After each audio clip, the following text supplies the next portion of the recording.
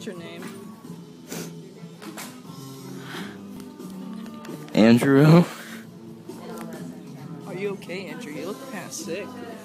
Blah.